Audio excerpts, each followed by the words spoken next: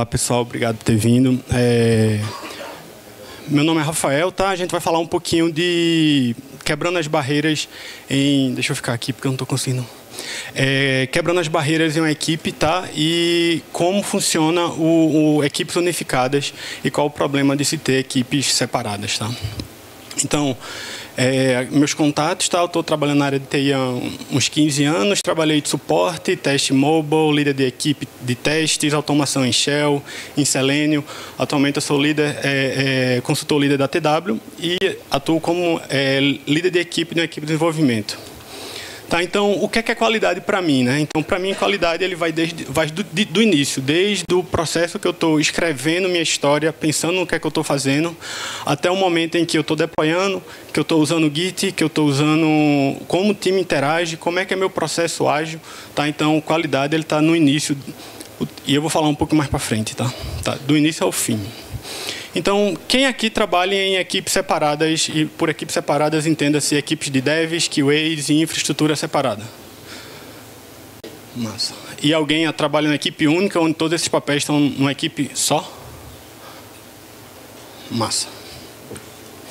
Tá, então, como é que é a separação? Né? Então, a gente está falando... É, ali tem os papéis de pessoas de negócio, pessoas devs, pessoas QAs e pessoas de infra. Né? Então, é, no processo normal, é, é, cascata, a gente tem uma, uma pessoa de desenvolvimento e uma pessoa é, de negócio de, definindo os requisitos. Geralmente só se envolvem pessoas desenvolvedoras. E aí, depois desses requisitos, a equipe de desenvolvimento roda e, e, vai, e vai codar aquilo. Né? Um tempo depois, a equipe de testes vem e joga bugs de volta para a equipe de desenvolvimento e fica nesse loop. Isso gera um, um, contra o outro, né? Então, desenvolvimento vai chegar, pô, lá vem esses QAs que faz testes que rodam na minha máquina. É, e a equipe de teste vai chegar, pô, essa galera não coda certo nunca, não. Né? Tem equipe de infra, eu não esqueci infra. E para infra, entenda-se todo o pessoal que provê é, máquinas CI, CD, é, o que for. Não, não, necessariamente a pessoa que vai te dar a máquina que vai ajeitar a tua máquina quando tiver com problema. Tá, beleza. Então a equipe de infra está dando suporte para essa equipe específica. Teria outras equipes também, mas nessa específica. É, e o que é que ocorre? Bomba para cima da equipe de infra de vez em quando. E aí veio a equipe ágil né, é, processo ágil faz, pô, massa, vamos fazer ágil, mas existe uma separação ágil. Então, nesse meu exemplo, a gente tem três equipes, cada um numa equipe única com é, negócio, desenvolvedoras e QAs. Tá? E aí, onde é que está a infra? Infra veio separado. Tá? Então, infra está servindo separadamente todo esse pessoal. E separadamente, entenda-se, CI, CD, deploy, é, firewall, acessos, o que for e vai tudo para a equipe de infra. E o que é que ocorre? Bomba para a equipe de infra. E a equipe de infra passa a virar um gargalo. Passa a virar e ninguém aprende, ninguém sabe. Né? Se por acaso a equipe ficou com algum problema, já era, vai ficar bloqueado todo mundo. Então, como é que funciona uma, uma equipe única? Né? Então, equipe única eu coloquei um, um bonequinho a mais que é um par, tá? para pessoas que trabalham com pareamento. Então, eu tenho uma história pronta, entenda-se por pronta todos os critérios de aceites é, é, na história, a descrição da história feita, tudo lá bonitinho, como a própria Carla trouxe, o Specification by Example compartilhado, todo mundo discutindo aquilo. Tá? Eu já trabalhei em equipes em que a história era uma linha. Então, quem estava desenvolvendo estava codando e descobrindo o que tinha que ser feito. Então, isso quebra o raciocínio. A pessoa do negócio não conseguiu parar para pensar exatamente o que, é que ela quer fazer. Então, ela vai trocar muito porque ela não parou para pensar. Tá? Então, a história está pronta. Várias pessoas se envolveram naquela história. Né? Entenda-se que aí, numa equipe única, não é cada um fazendo, ah, é uma história de infra, é a pessoa de infra, é uma história. Não. Então, é uma, uma equipe que tem áreas de experiências diferentes. E aí, a história está em desenvolvimento com um par, no meu caso, onde já está tendo é, troca de conhecimento. Se é uma história de infra, eu tenho uma pessoa especialista em infra pareando com a pessoa que não é. Se é uma história de desenvolvimento, vice-versa. Então ocorre, começa a ocorrer uma troca de conhecimento entre as pessoas, até que uma pessoa que não tinha tanto conhecimento de infra vai conseguir rodar histórias que, é, que são de infra com o suporte de uma pessoa de infra na mesma equipe. Tá? Então, Enquanto eu estou aí na, é, é, escrevendo minha história, eu estou rodando minha regressão. E por regressão, entenda-se tudo que eu tenho de testes automáticos. Então, eu achei algum bug, eu quebrou meu CI, eu vou ficar nesse loop. E aqui é o melhor local para eu achar bugs. Tá? A gente tem que ser bom em prevenir bugs, não em achar bugs. Então aqui é o momento em que o bug é mais barato de ser corrigido. Por quê? Quem está desenvolvendo sabe exatamente o que está sendo feito, sabe exatamente é, qual é a linha que deu erro. Talvez ela não saiba resolver o problema, mas ela sabe exatamente onde é que está e ela sabe exatamente é a solução que ela está fazendo e o negócio que ela está fazendo. Na hora que eu saio daí, não achei mais nenhum bug na minha realidade, eu vou ter uma, uma, uma equipe pareando em histórias prontas para teste. Tá? Uma pessoa, um par. E de novo, pareamento no teste, sim, a equipe tem que aprender a testar. Não tem que depender da pessoa com a mentalidade de qualidade para testar. Né? A única regra que a gente coloca na nossa equipe é quem desenvolveu, não testa. Então, se eu achar um bug aqui, se for um bug é, que não, não fere o critério de aceite, seria uma nova história. Mas no meu exemplo, fere o critério de aceite. Eu vou voltar essa história de novo para pronta. E o que é que isso vai ocorrer? Quem desenvolveu essa história já pegou outra história essa pessoa, se ela voltar para é, corrigir o bug, ela vai ter um de novo que relembrar qual é a solução, relembrar qual é o negócio que ela estava resolvendo. Ela pode estar de férias, ela pode já, inclusive, estar doente. Então, ela já nem mais está disponível. Então, começa a ficar mais demorado eu corrigir o bug na hora que eu sair do desenvolvimento da história. Depois foi para sign-off, a partir daí é bug de produção. Então, a pessoa mudou de projeto, não está mais na empresa, demorou um, dois meses para chegar nesse ponto. Então, o conhecimento, mesmo que a pessoa é, que desenvolveu é, pegue aquela história para resolver de novo, ele nem lembra mais, aquela pessoa não lembra mais exatamente o que, é que ela fez, ela vai ter que se lembrar de novo do negócio e da solução. Então, começa a ficar cada vez mais que eu me afasto do desenvolvimento, mais caro corrigir um bug. Então, só relembrando aqui, tá? O local ideal para achar bug é enquanto está sendo desenvolvido.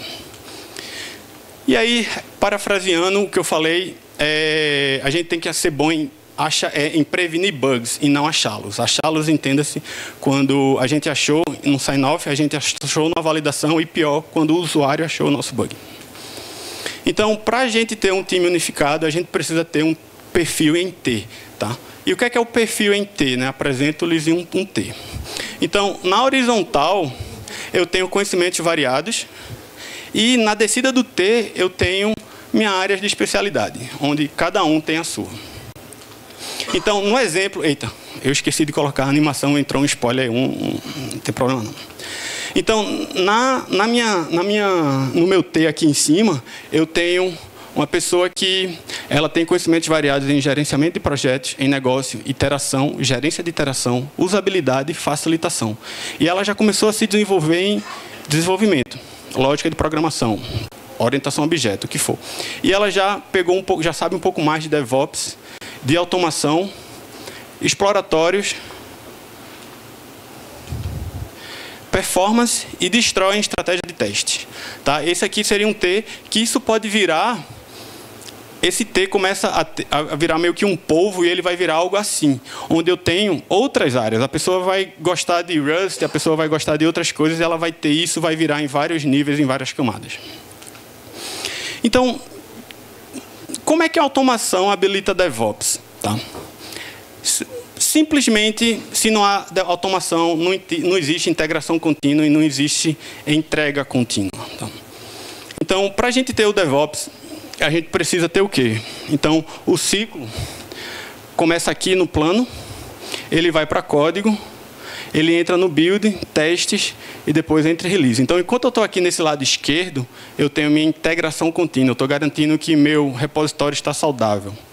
Enquanto que eu estou aqui no lado direito, eu tenho minha entrega contínua e eu vou garantir que eu consigo ir para a produção rápido.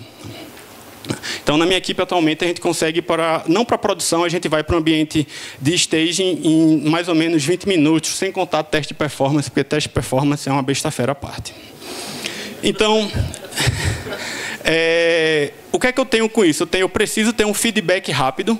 Eu tenho que saber quando é que aquilo está ruim, quando é que aquilo está ruim. Eu tenho preciso que aquilo que eu saiba aquilo muito rápido, tá? É, quando você começa a ter outras ferramentas a, a, além do, do, da entrega contínua para um ambiente de pre-prod, que é no meu caso, a pessoa tem um, um um chaveamento de, de banda, a pessoa tem um Blue Green Deployment, então eu consigo já influenciar o negócio a nível de, de ser mais rentável e vender mais. Exemplo, meu cliente atual chega no Black Friday, código travado. Você não consegue mais puxar nada porque eles morrem de medo de não vender no Black Friday.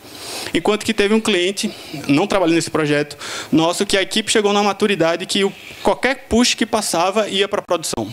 E aí eles começaram a testar no meio do Black Friday eh, elementos de UX que pudesse chamar mais a atenção do usuário. E aí vira, eita, não funcionou. No meio do Black Friday faz o deploy de novo e volta para o estado anterior. Então a pessoa para de ter medo de quebrar e aquilo passa a fazer um direcionamento do negócio. Tá, e aqui é um, um, um relatório do Puppet, ficar desse lado aqui para esse povo não ficar assim, sentindo é, escanteado. É, o Puppet 2017, relatório, tá? Então a gente tem aqui é, equipes e o esforço manual dessas equipes. Então, alta performance, média performance e baixa performance. Então, a equipe de alta performance, configuração manual, 28%, enquanto que as demais equipes, 47%, 46%. Testes manuais em alta performance, 35%. Provavelmente testes é, visuais, testes que mobile, que a automação ainda não consegue fazer, enfim. E as demais equipes, 50%. Deploys da alta performance 26% e as demais equipes 47% a 43%. É, é, processo de mudança, né? 48% para equipes de altas performance manual e o restante 67%, 59%. O que é que essa equipe entrega, né? Então, eu vou disponibilizar o link no final da apresentação, vocês podem baixar e tem toda a descrição, tem todo uns 50, 50 páginas de, de relatório. Tá? É, alta performance ela deploya para a produção com a frequência sobre demanda. E isso quer dizer várias, várias vezes por dia. Tá? Enquanto que as demais equipes, uma vez por semana a uma vez por mês ou mais. Lead time para mudanças. Né? O que é, que é lead time? Lead time é o momento em que eu tenho minha, minha, minha ideia, ela está no papel, começa a ir para código até chegar no usuário. Então, esse é meu lead time. Então, alta performance em torno de uma hora, os demais equipes, uma semana a um mês ou mais. Tempo de recuperação de produção, não necessariamente bug em produção, mas um ambiente caiu, enfim. Menos de uma hora em alta performance e um dia a uma semana nas demais equipes. E mudanças que causam erros, 0 a 15% em alta performance e 31 a 45% nas demais equipes. Tá? E aí, o que é que isso quer dizer? Eles não têm umpa-lumpas que estão ali virados trabalhando para eles. Isso é automação. Tá? A automação está garantindo que eles consigam entregar rápido e com qualidade. Óbvio que a automação, já vi equipes fazendo um igual a um, passou, estamos cobertos. Não, é uma automação bem feita. Tá, então, o que devemos automar? Né? A primeira coisa que eu digo é depende. Né? Então, como assim depende? Depende do seu projeto. Você tem um produto, o seu projeto é seis meses a um ano, você trabalhando com a equipe de marketing que precisa ter um go-to-marketing com três meses, dois meses, você vai fazer grandes automações com isso. Então depende muito da realidade do seu projeto. Tá? É, pessoas desenvolvedoras que trabalham comigo, que pegaram a, a, a, o costume e a cultura do, do, TDD, não conseguem mais codar sem TDD. Então é, essas pessoas vão fazer independente. Tá? Então, o que é que eu teria que estar tá automando? Meus testes. Tá? Regressão é, uma, é muito custoso, demora muito, é repetitivo e isso gera erros. Né? Pode, a pessoa que está rodando aquela regressão há muito tempo, ela já tem de cor aquilo. E ela tem tão de cor aquilo que ela vai parar de checar e ler o teste porque ela já acha que sabe. Às vezes ela esqueceu do passo, às vezes o passo mudou infra, né? Minha infraestrutura, fazer provisionamento de máquina é uma coisa custosa, é uma coisa demorada. Tá? Eu configuro, mudei a biblioteca, né? vou ter que refazer minha infra. Então é uma coisa que demora. Disponibilizar é, é deploy, né? É, geralmente deploy muitas equipes fazem à noite por causa do medo de parar a produção. Então você já está cansado, é um processo repetitivo e propício a erros. Tá? É, eu já vi um cliente tendo que dar um voltar num deploy para produção porque deu erro e eles não tinham estratégia de migração, migração de banco. E aí o que eu vi foi a pessoa logando com Remote Desktop Connection no, no, no servidor de produção, abrindo SQL Server em produção e copiando e colando da máquina dela os scripts e fazendo o rollback na mão. Então, se isso desse problema, a máquina já estaria no estado que seria muito difícil de recuperar já. E esse que eu não enxergo. Ah, obrigado.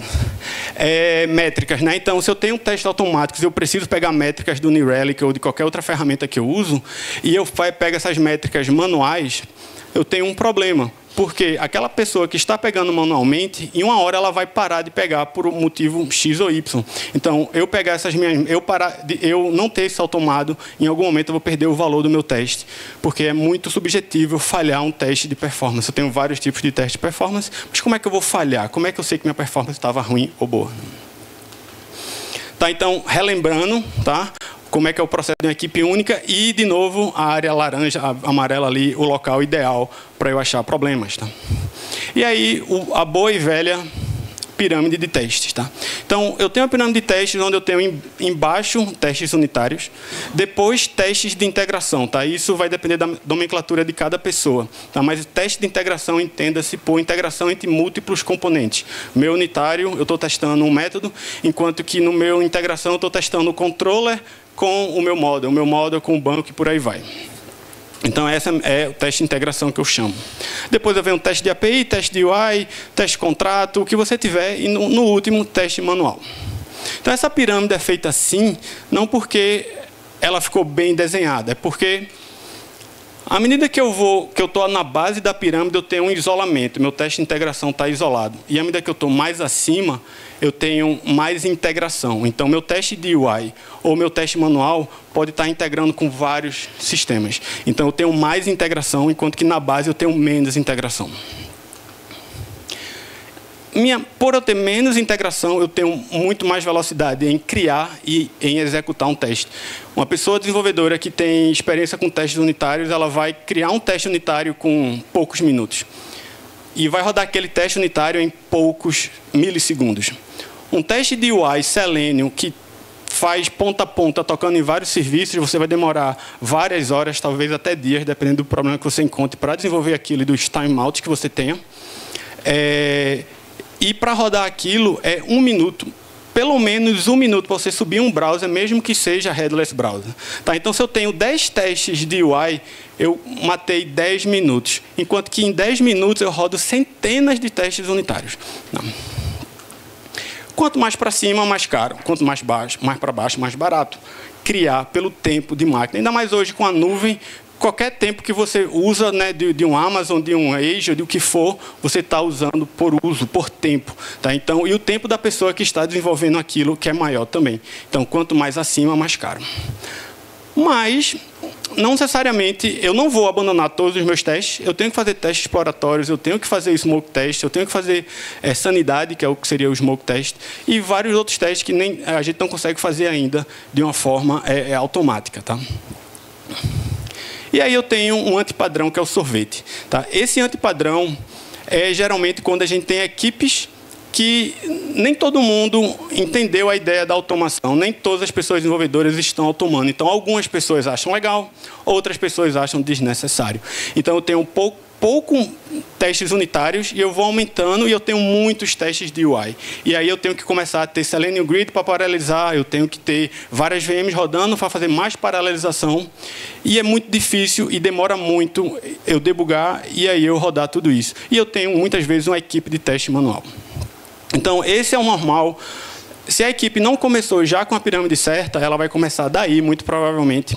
E é, é, como acontece. Então, o que a gente tem que ter cuidado e, e, atenção é o que foi débito técnico, o que é que ficou para o passado, vai ficar no passado, você vai ter que priorizar e vai virar um, um, um assunto na sua planning. Mas o que é coisa nova deveria começar a esticar essa pirâmide. Eu, eu deveria estar. Tá, tudo que for novo e bugs que eu for encontrando, eu deveria estar tá jogando cada vez mais para a base da pirâmide. E aí, quando eu começo a esticar isso, eu vou ter o antipadrão do bolinho. Então, eu estou esticando embaixo e eu tenho que continuar esticando para conseguir chegar na minha pirâmide. Tá? A regra de custo e de velocidade continua a mesma. Tá? Eu só vou ter mais uso da minha, do meu CI. Tá? Então, a automação ela vai me ajudar a lidar com esses problemas. O que, o que, as equipes têm que entender é que, principalmente quem banca, que precisa ter um investimento. É muito comum de chegar e pedir para uma pessoa que não tem experiência fazer automação, a pessoa vai fazer o melhor que ela pode e o melhor que ela pode talvez não entregue o resultado esperado. E aí a gerência vai chegar e vai dizer, está vendo, isso não funciona. Né? Então, é, é questão do pessoal entender o porquê aquilo. Tá? Na minha humilde opinião, a pessoa QA, tá? não, não pensando na separação, mas a pessoa que tem a mentalidade de qualidade, ela, e ela tem essa mentalidade pensando em todo o processo de desenvolvimento, ela serve como ponte para conectar todo mundo. Tá? Então, ela, ela, por que, eu estou dizendo isso? Porque ela consegue pensar em negócio, ela consegue pensar em várias frentes. Tá? E eu vou falar um pouquinho agora. Então, alguns exemplos misturados de pessoas que eu vi e que eu fiz na, na, na minha experiência, é, quando a gente está falando de processos. Tá? Então, minha, retro, tá, minha retrospectiva está acontecendo, eu estou tendo retros que a gente está tendo ações, a gente está resolvendo aquelas ações, eu estou evoluindo com, com o aprendizado da minha antiga sprint. As stand-ups estão acontecendo e não demoram meia hora é, requisitos de negócio, né? A pessoa PO ou analista de negócio está sabendo como é que escreve uma história. Eu trabalhei com pessoas POs que não sabiam escrever uma história. A pessoa escrevia com a linha. Então foi um papel de ensinar como é que era fazer os critérios de aceite e, fazer, e fazer o, o, o, o ensinamento, coaching daquela pessoa. Tá? A equipe também precisa entender como é que se cria critérios de aceite. Se eu tenho uma API, que eu, um, um projeto muito técnico, eu vou fornecer uma API, muito provavelmente a pessoa do negócio não vai se envolver naquilo. Eu vou ter que ter o tech lead e aquilo vai ter que virar uma história. E as pessoas vão ter, técnicas vão ter que criar aquela história. Então, como é que eu escrevo da melhor forma possível? Desenvolvimento, né? As pessoas sabem testar unitariamente, sabem o que tem que testar a cada nível da pirâmide. Né? A pessoa tá, a gente está fazendo checagem de código estático, está usando um Sonar ou, ou, ou, alguma coisa que cheque a minha, a minha cobertura. As pessoas estão se importando com teste, com entrega, com o CI. Se eu tenho um CI bonitinho que roda toda vez, mas ninguém olha, ele está sempre vermelho, é o mesmo que eu não ter. Tá? A gente está sabendo testar, a gente tem uma estratégia de teste bem definida, baseada no que a gente quer entregar e com o plano que a gente vai entregar quando a gente for deployar para o negócio. Tá? A gente consegue transformar critérios de aceito da história em testes manuais ou critérios de aceitos em testes usando Specification by Example e depois virando automação. Eu consigo entender a diferença disso. DevOps, né? de novo, se CI está sendo monitorado, eu tenho algum canto que as pessoas olhem, né? É, é, tem até ferramenta em computador que fica mostrando o tempo todo o teu CI. Então a gente precisa estar tá monitorando esse CI e ele não ficar escanteado. Na hora que você escanteia muito o CI, você vai ter um débito técnico gigante de testes que começaram a falhar e daqui a pouco você não sabe mais por que eles falharam. E aí você vai ter que ter uma história para resolver os testes. É, eu tenho um pipeline como código, meu, meu, minha pipeline é versionada, eu consigo ter facilmente uma alteração na minha pipeline, eu tenho que estar tá mexendo no Jenkins, na UI, etc. Então. Suporte. A gente está monitorando os usuários, quanto tempo demoro para entregar um, um, bug de produção. Eu estou usando Splunk para facilitar um, um um, um debug em produção ou alguma outra ferramenta que funcione isso. Então, a, a pessoa QA que está pensando no processo todo, ela está com tudo isso em mente e em equipes separadas ela começa a fazer ponte entre, entre diversas áreas. Então, é, se for para ficar com alguma coisa aqui, para mim, é, equipes únicas é, habilitam DevOps e entregam mais e com mais qualidade. Algumas referências, tem a apresentação é, eu vou colocar no SlideShare, o pessoal também vai disponibilizar. Tem ali o reporte do, do, do Puppet 2017 e perguntas. Quando a gente fala em teste, normalmente, para um superior ou dono da empresa, algo do tipo, sempre vem aquela história, né? O, o ROI não, não vê o retorno sobre investimento, dificilmente consegue mostrar. E aí você mostrou as pirâmides e tudo mais. É, entre as comprovando né, que quanto mais baixo, mais menor o custo. E, do seu ponto de vista, seria o ideal toda aquela cadeia, é, começar apenas para de baixo, até provar que tem um retorno sobre investimento? Como que você tentaria abordar para um, alguém para vender esse peixe de, de, dos testes? É, é interessante a pergunta porque já teve gerente do cliente que veio perguntar: não está achando nenhum bug, vocês estão fazendo o trabalho certo, não? Quem está testando não está testando. Justamente ao contrário, a gente está prevenindo bugs. Né? Então, fazer toda essa pirâmide quer dizer que você tem que ter uma equipe com a maturidade alta e isso pode ser complicado. Tá? Se você está começando agora, então você pode começar a entregar valor fazendo uma análise do que é que está com mais problema é, no projeto. Então, por exemplo, olha onde é, qual é a área que tem mais bugs, né? qual é a área que está tendo mais problemas em produção. E aí você começa a automatizar aquilo, e aí, obviamente, você tem que mostrar depois com métricas que, ó, sei lá, dois meses atrás a gente tinha várias reclamações, depois a gente já não tem mais reclamações. O importante é você ter também um CI, né? Porque se você tem uma automação que você tem que rodar manualmente aquela trigar aquela automação, iniciar aquela automação manualmente, isso vai se perder também. A gente tem que ter um negócio automático que, com push, eu já estou rodando aquela automação. Ah, mas aí minha, meus problemas estão meio que espalhados. Então, você pode ir para o lado do negócio. Qual é a área do negócio que mais é, é, daria problema se é, tivesse é, é, mais problemas se desse, se desse problemas em, em, produção, desse bugs. Então, eu posso começar a automar aquilo, mas se você não mostrar para o pessoal que problemas que a gente tinha não tem mais, pessoal vai achar que não, que não valeu a pena e foi um investimento que se perdeu. Né? Mas as pessoas só veem um problema quando ele vai para a produção. Ninguém vê todo o esforço necessário para não ter aqueles problemas em produção. Quando tem produção, aí tem visibilidade. Mas por isso que você tem que ter todas essas métricas e estar tá preparado para provar que aquilo é necessário. É, eu tenho uma dúvida de como que você incentiva o time a estudar mais a parte de teste unitário. Tá. É, isso, acho que, é acho que foi a palestra do DevOps que alguém fez logo mais cedo aqui no, no Ignite. É, é, cultura, né? Você tem que colocar na cultura das pessoas. Né? Um teste unitário é uma coisa que demora muito inicialmente. Principalmente você está pensando no TDD, independente. Mas o fato de você fazer a primeira vez vai demorar, vai demorar vários minutos, 10 minutos para você fazer um teste unitário. Então é uma coisa que a, a equipe tem que insistir para aquilo começar a ficar orgânico e ela já conseguir fazer bem rápido. Então quando ela quebrar esse momento em que passou chato, ela vai começar a ver um valor. Tá? Então, é muito de você mostrar para a equipe que, pô, na hora que a gente. A gente tá, quanto tempo a gente demora para saber que uma build está saudável? Ah, uma semana, sei lá, três dias, dois dias. Pô, a gente pode conseguir garantir isso no teu tempo de café.